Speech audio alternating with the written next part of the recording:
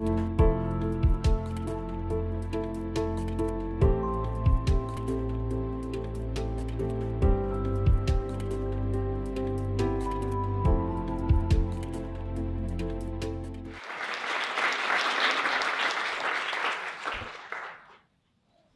Well, good evening, everyone. Uh, I'm delighted to be among you all. Thank you for taking the time to be with us today. I really hope that I can bring some of my world into your world, expose you to some of my personal struggles and frustrations, but also hopes and dreams and achievements. Um, it is a personal journey uh, in a very convoluted world full of struggles and questions, and uh, sometimes we don't have the answers, which is okay. I don't think we all uh, have figured out things yet. The story started off by me being a very young, protective, spoiled girl in uh, a country where family ties are stronger than ever. Um, my mom and, and, father both come from a province called Qassim, uh, which is north of Riyadh, the capital, uh, known for two things. Uh, dates, producing the best dates in the world, but also being a very conservative place. Um, my father was born to a family of farmers. Uh, he literally was born in a farm with his uh, cord being cut off by his mom in the field. Uh, my mother comes from what of somewhat of a different background. Her, her father was a merchant. They used to travel quite a lot. She got exposed to a variety of different uh, experiences in her life. Um, brought up in Saudi Arabia, uh, traveled the world a bit uh, until the year 2000 when my father came into our living room announcing that we are going on a lifetime journey to the U.S. On a plane, we go, uh, arriving at the Big, Big Apple, doing the tour, down at Disneyland, doing the five parks, and you know, that is an achievement of itself for a kid at that time. Off to California, and then of course we had to do Las Vegas.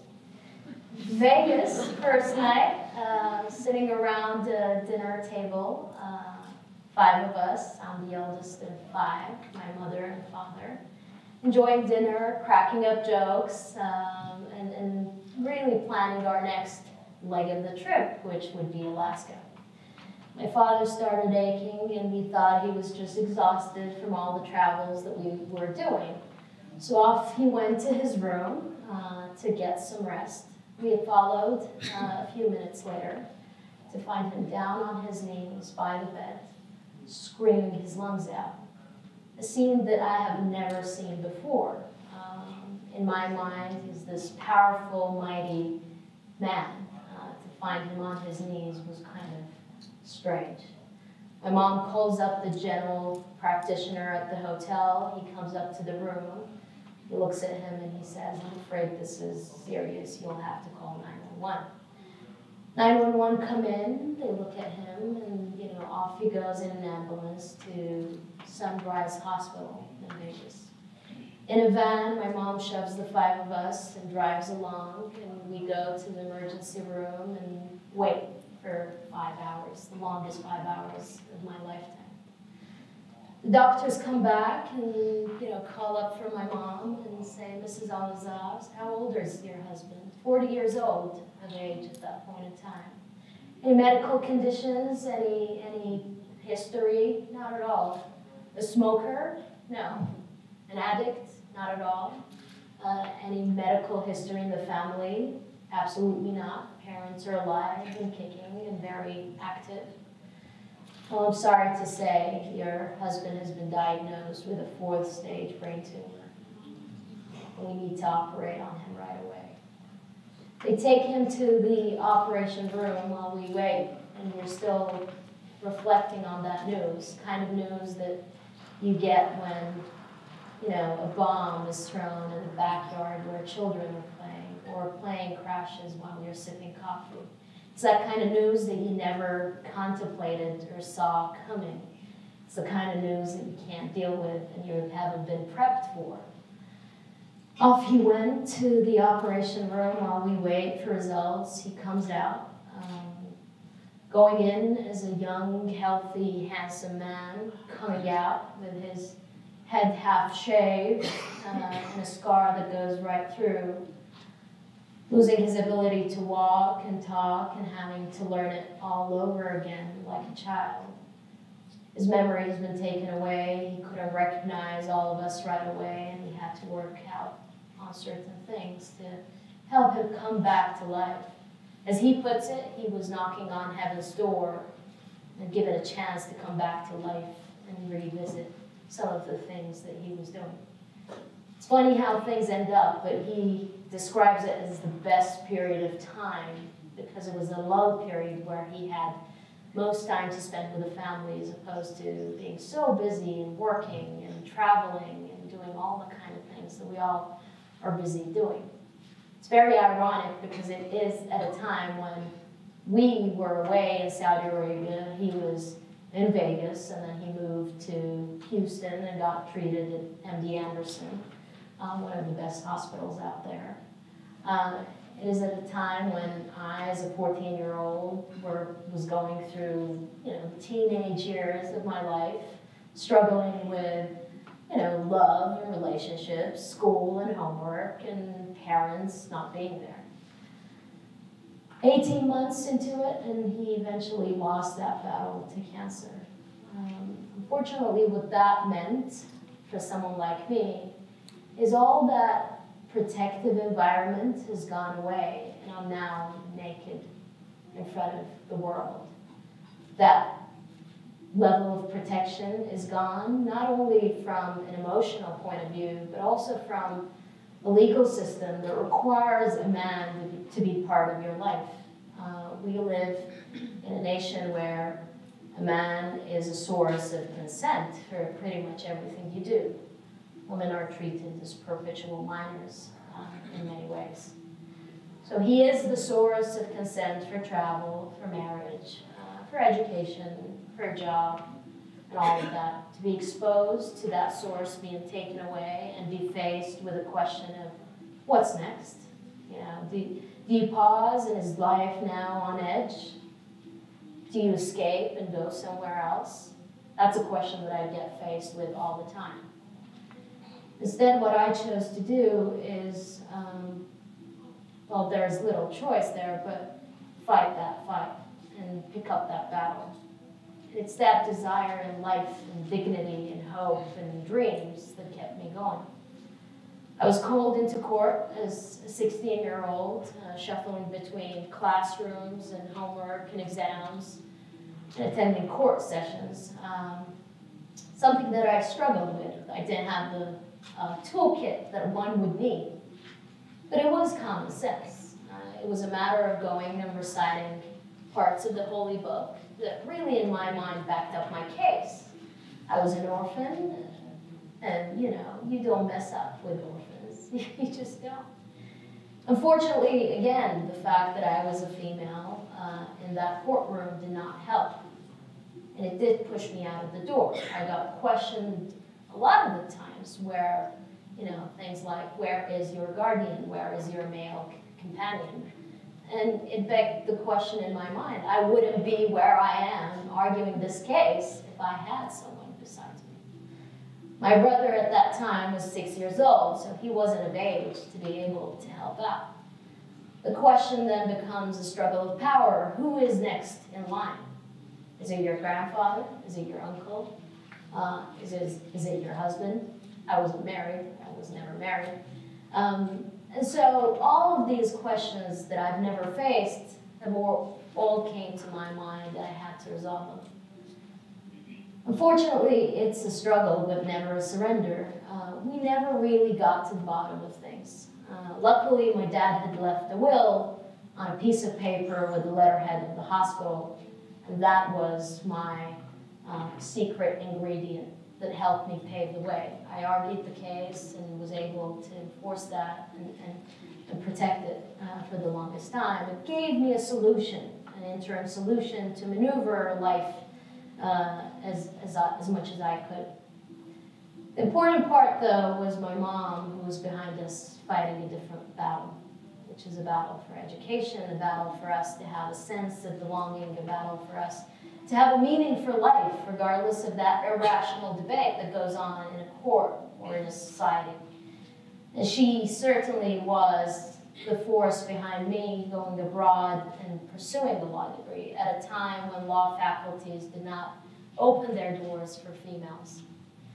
So off to England I went and faced with another challenge. I thought my English was all right until I went to a town northeast of English eh, of England and their English was pretty different I couldn't figure things out.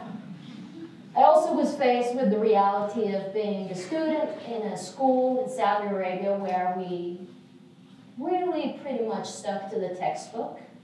You know, free thinking was not something that is encouraged. Uh, critical analysis was something that I didn't really understand. It's a matter of just memorizing what the textbook says reciting it to someone. So we were reporters more than students most of the time.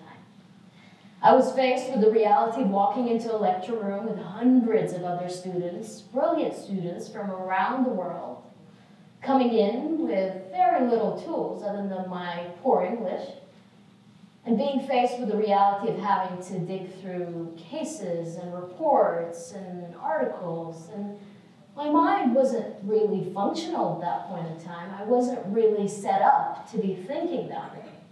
Um, so while people were able to, you know, go 3,000 miles an hour, I was stuck with my digital, digital dictionary figuring, you know, some terminology and trying to recap on what the professor just said.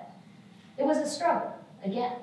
And it was a slap in the face when I worked so hard and got my first big fat F when I submitted my first essay called up my mom at that point in time and I thought, you know what, this is it. I tried and the beauty was in the attempt. I think I should pack up my things and come back home.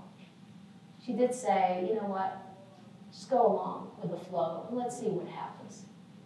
Was more of a concentration camp to me than a university. I used to go into the shower every 10 minutes to keep myself awake because I couldn't afford you know, sleeping in or spending time watching a film or a movie or reading a book. Every minute counted.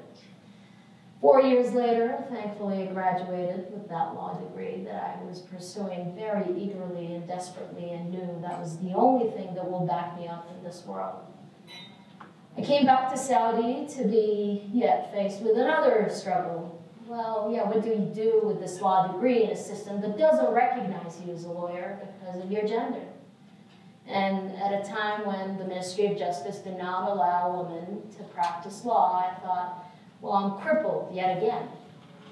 New York presented itself very well. They told me that there was something called the bar exam. In my mind, the bar is where you go and have some drinks, which I couldn't do. Um, so off I went on a plane again uh, and went to New York and crammed for months and months. In my mind, the odds are I pretty, fail, pretty much failed that exam, which again does not you know, help. Um, I remember the day we got the results were, was the same day when the royal marriage of Kate and William was going on. And I was, I decided to sleep in that day and my mom comes knocking on the door saying, you better wake up. And I said, well, I really don't care about the royal wedding. She goes, no, no, no, this is not about the royal wedding. She walks into my room, throws a newspaper on my bed, and I looked it up, and it had a headline that said, Shihana Alazzaz is breaking through and taking the Saudi woman into a new world. Uh, like, really? What does that mean? Uh, it did mean that they, they found out that I passed the bar exam before I did.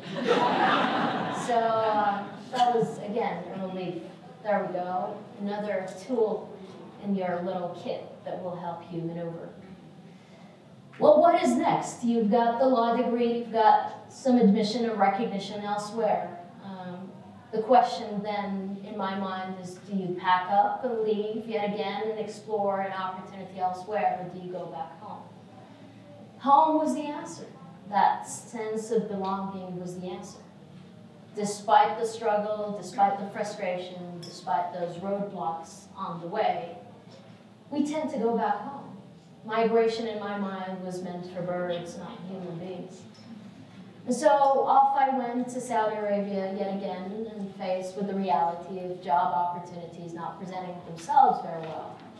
And I've kind of set myself up for failure. I pursued a degree that wasn't really allowed for females, pursued a profession that was prohibited for females. So if anywhere, anyone was to blame, it was me.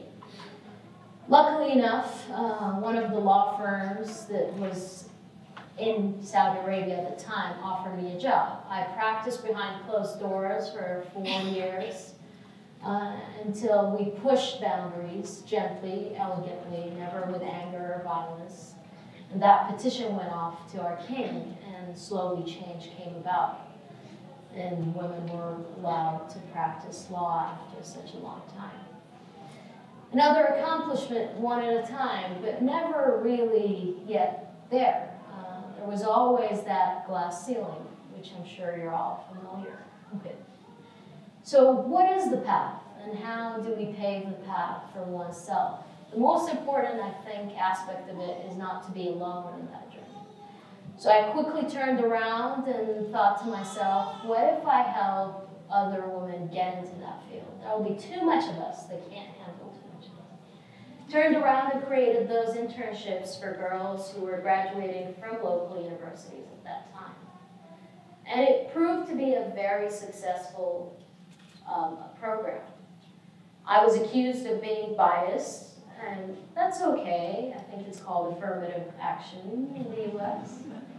But frankly speaking, and I did test this, if I were to censor the names off those resumes that I received and let anyone pick the candidate that they thought would be best, it was the female.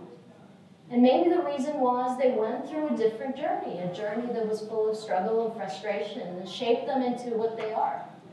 Um, so we quickly built up a team, both men and women, and worked together. I reached a comfort zone at that point in time with Baker McKenzie and thought of set myself up for partnership.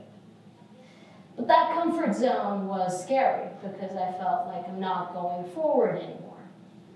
Vinson Elkins was presenting a unique opportunity. They'd never opened an office in Saudi Arabia before, and they presented that opportunity of being part of the first layer, part of that brick in the foundation. Come and mark your, you know, self as, as the leader and pioneer in, in our office. There were other law firms that pre presented equally good opportunities, but they were the same law firms that shut the doors five and four years before that when I was a nobody. And now, when I'm making headlines, you want to capitalize on that? Hell no, I would not. um, so I turned down those offers and, um, in a very counterintuitive way, went off and pursued a new opportunity uh, with a law firm that didn't really exist at that time and we helped put together and build. Five years into it, uh, we were a full-fledged law firm in Saudi Arabia, focused on oil and gas and energy because that was the niche practice that V&E brought into the market, but did a range of things from M&A and capital markets and litigation and arbitration and whatnot. Again, a comfort zone after five years and building teams and putting people together. Um, and then the government called me up oh boy, what to do now? I mean, I was this sort of free thinker, thinker floating around in private practice, doing my own thing. To switch to government was very different and difficult. But we are going through interesting times in Saudi Arabia, and change has never come about the way it is now. We've got a new young leadership. Um, our crown prince, Prince Mohammed bin Salman, who is a visionary guy. And he is a person that a lot of our generation, my generation, can relate to. For the longest time, we had older, wise men ruling our country. For the very first time, we had someone of our generation. Mind you, this is a country that is very young. The majority of the people are under the age of 30. So the opportunities, but the challenges that we present as a young nation had someone to understand them, and His Royal Highness was one. He did announce about a year and a half ago a very ambitious program called the National Transformation Program. And the essence of that program is the following. Obviously, with the turmoil going around, you know, all our borders are surrounded by wars and uprisings and failed states and all of that. Oil prices dropping to, you know, prices that they have dropped to being an economy that is so dependent on oil, all of these struggles presented themselves at the same time. So he announced this ambitious program uh, to reform our economy. It was both an economic and social program. Some of the main pillars is to bring women into the workforce. There have been attempts before that. One of the key things that happened a few years back was feminizing retail. And I say feminizing, it literally meant that. We had a situation where all retail stores, whether cosmetics, lingerie, clothes, whatever, uh, were served by men only. So I'd walk in, as ironic as it sounds, I'd walk into a store, you know, probably covered in my black robe and hijab, and start discussing, you know, my makeup with a man or, you know, the size of my underwear with a man. So it, it was very controversial and, and, and stupid. So that change came about and it created job opportunities for thousands and thousands of girls. Another change came about very recently, which is um, the introduction of sports for females. For the longest time, sports and physical education was not taught to girls in schools. Uh, there was no opportunity to exercise in a gym for a female. We exercise in person and in private because female gyms did not exist. Uh, there were, I think for the first time, four female participants in the last Olympic Games from Saudi Arabia. So again, a whole new field for females to embark on and, and explore. Legal field, as I just explained, was open a floodgate of lawyers coming in and, and working the, their way up. It was interesting times. So I had two options. When that opportunity with the government presented itself, I could e either walk the path I've already started and continue to be in private practice, or be part of that system. The 12 years before that, you know, frustrated me so much and caused me so many issues. Why not be that lady in government that introduces change? It's not to say that it doesn't come without challenges. But wherever you go, there will be that one annoying person. But once you meet them, just greet them and be happy that you found them and just embrace it. It is a struggle, it is a change, but I think the one key message I want you all to take away from today is to look beyond our stereotypical preconceived notions of what a Saudi woman is like and what you know, a woman in Salt Lake City is like. We all share struggles. I hear the equal pay issue in the U.S. comes along in every debate or discussion I have. Pretty much doesn't exist in Saudi Arabia, kid you not. The equal opportunity issue does come up and is there, but the equal pay issue is not there, interestingly. So I think that basic idea is to really look beyond what people look like or how they dress up or what the media tells you. I think we are living in very interesting times where virtual reality has overtaken our actual reality. And what we hear in the media is really feeding into our fears and how we think our nations should be run. And that is a very dangerous proposition and a very dangerous world to be in. It is a very small world. What happens in the Middle East will affect people in the US. What happens in Latin America will affect people in Asia and whatnot. We've never lived in such a small world and connected world as we live in. And I do think that it comes down to people. It's those relationships that we build between each other it's those bridges that we build among each other. It's, it's that Jewish friend that I've met four years ago that I traveled to with in so many different places. It's that, you know, Christian friend that comes and hosts me every time I come to New York. It, it, it's looking beyond our faith and religion. It com it's coming together because of our dreams and aspirations.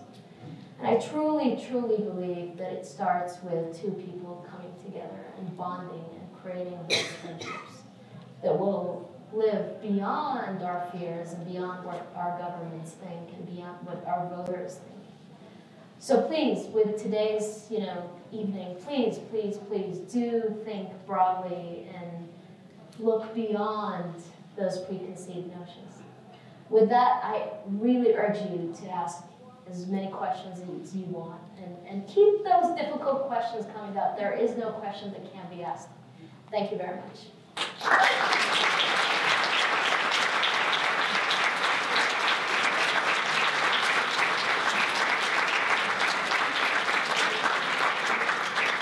So we have several mics that we can uh, spread throughout the room. In fact, if we could have those helpers come up and grab them up here. And I ask you to use the mic not so she can hear you, but everyone can hear your question. First of all, we are all so proud of you and all the progress you've made.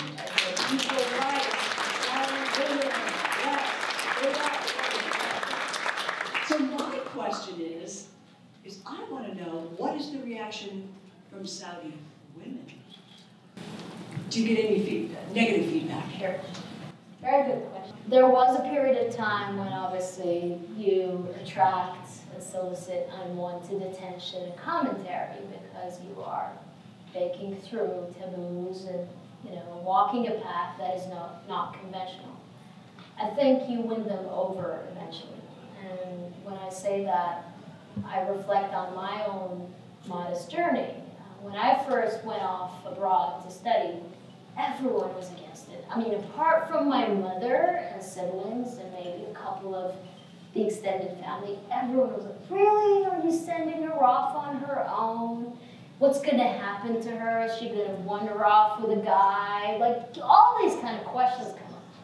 Funny enough, as soon as you start, you know, passing with colorful, you know, marks, they come and say, oh, we want the same for our daughters. Um, it's, it's just a matter of proving the case that this is a path of dignity and hope uh, and dreams. And it is proving the case. And unfortunately, you have to go through a moment in time or a period in time where you will be attacked, uh, you will be criticized. I still do. Uh, but do you get into a debate, an irrational, everlasting debate, or do you focus on the things that really matter? And do you bring about change that is positive and that really impacts people's lives? I would say focus on the latter. Thank you so much for being here and for sharing. Um, I question. So you mentioned, um, especially when you first started out in school and then England, and you were failing and struggling, and you called your mom, and you're like, that's it, I'm coming home and she said no, and you stuck it through, and obviously were successful. What was it that really made you um, overcome those challenges and all the future challenges? And then what do you say? Um, now I'm sure you have many mentees and other women coming to you as they're going through challenges where it's so hard to push forward and it's so easy to just walk away. What do you tell them? A few things. Um, I think um, I've learned it the hard way.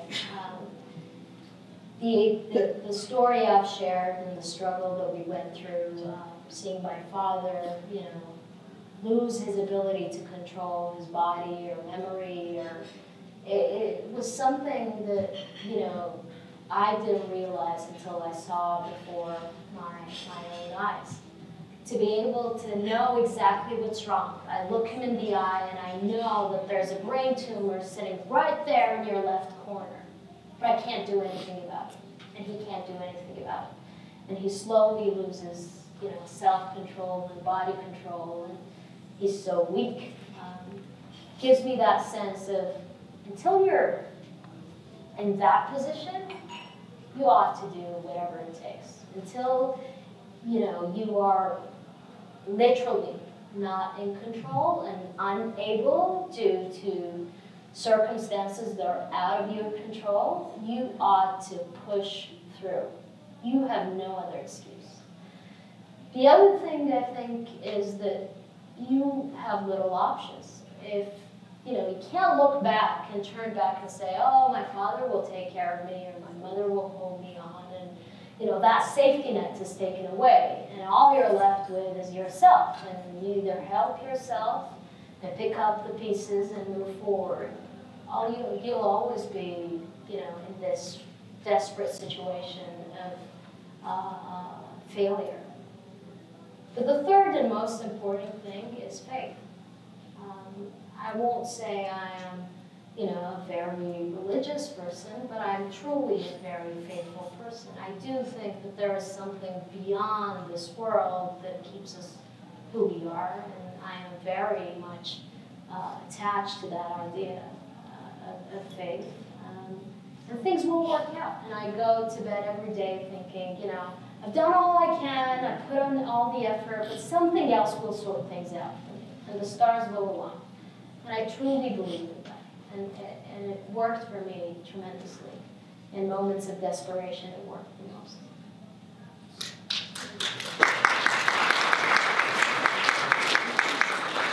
Uh, given your current role, uh, I was hoping you could speak a little bit on uh, Aramco's IPO, as kind of what that means for Saudi economic diversification down the road. Um, the idea really is to take our uh, oil company and float it in public markets. And that revenue will create opportunities for our economy. And this, this is something that His Royal Highness our Crown Prince uh, announced several times. It's a very ambitious plan. Uh, and it's, it's a, a minority stake no more than 5% as far as has been announced today. Um, and it could be any market, whether New York or London or Asia. No decision has been there, made there. Um, and the idea, again, is to take that revenue and, and reinvest it in sectors of technology, healthcare, infrastructure, real estate, you name it, and create a diversified economy for Saudi Arabia, which has been uh, for a very long time dependent on oil, something that is not sustainable, obviously, in this day and age. Um, I hope that answers the question. So my question is, to what extent do you, moving forward now that women can practice as lawyers in Saudi, how do we get them on the bench or in the judiciary? Are there similar problems? Are they the same problems that it was just for practicing law or are there other uh, problems that are unique to specifically the judiciary that you see um, needing to be addressed, and how are people like you and similarly minded trying to address those issues? Right. And that ties into the first question. Absolutely. Let me tackle both at once. So when the change came about and the regulations that changed to allow women to practice law, we were, before that announcement uh, was, was made, we were all anxious because we thought that if they do allow women to practice, it will be full of restrictions, and we can only do certain things, and we probably would only argue family cases, and only with female clients, and you know, only there was a lot of anxiety going on. Surprisingly, pleasantly, surprisingly, there were none. We were equally treated, absolutely equally treated, in terms of qualifications and requirements and what we need. Um, now, that's the, the, the, the, set of regulations. Is it the same in practice? I would say the process of being licensed, yes, and somewhat easier. They were definitely very keen on issuing licenses in a very practical and, and, and efficient way. Um, so, you know, if I were to go and file a, an application for a license and a male colleague would do the same, I probably would get it faster. I probably would definitely get it passed. There was a lot of dedication and focus on getting that done. However, the, judi the judiciary is still somewhat restricted because the pipeline is a males only pipeline. The part of the requirements to become a judge in Saudi Arabia is to be a graduate of a certain judicial institute, which unfortunately up until today does not allow women. Um, so uh, courtrooms are still restricted, um, and You can appear before a man and argue your case before a judge. You still cannot be judge, a judge as a woman. So it is a bit restricted uh, in, in that sense. So in closing, just two quick questions. Do you still have consent issues since you live in I Saudi always will Arabia? have consent issues, for sure, but go ahead. Uh, And the last one, the piece of advice your mother gave you before you came on this trip? All right, well, the, the consent issue continues, um, but, um, I must note that there has been, again, in those sort of, uh, uh, the suite of, uh, initiatives that have been taken by the government to pave the way and provide a better life for a Saudi, uh, female. A royal decree was issued a couple months ago, um, saying, something along the lines of just let her get on with her life, right? If if the law doesn't really explicitly require consent, you're not supposed to ask for it. So there were um, practices that abused that notion of guardianship, where, for example, uh, a landlord would not lease a woman any real estate, whether an apartment, a house, a studio, you name it, without the consent of the man. Where did that? No one knows. There, there is no law that requires that. It's just practice, right? So that ought to stop. Um, certain hospitals have practices that require a man's consent to perform certain operations and procedures on a woman. Well, it's my body, for God's sake, right? And so that stopped. What we think here too. but again, you know, it, it, the, the, the notion was abused, and the king decreed that that ought to stop. So that was a great improvement. In my humble opinion, it doesn't get us where we need to be. Uh, from a Sharia perspective, there are a lot of scholars out there that would argue the only consent that is absolutely required is in marriage and under a certain age. Uh, otherwise, you should be really treated as an adult. So I think there's still work to be done in that field of consent or the lack thereof, and that is the worst scenario to be put in, where you, you either don't have a man that is supportive, um, or that you have a man that is abusive. So you have a 16-year-old son who, although you're of age, 60 years old or whatever, will ask you for a paycheck every time he, you need his consent. So that has been there, and it's quite abusive in, in many ways. Piece of advice that my fighter, my mother, gave me was speak your mind, be yourself, and stand tall. And I do truly follow her advice every time.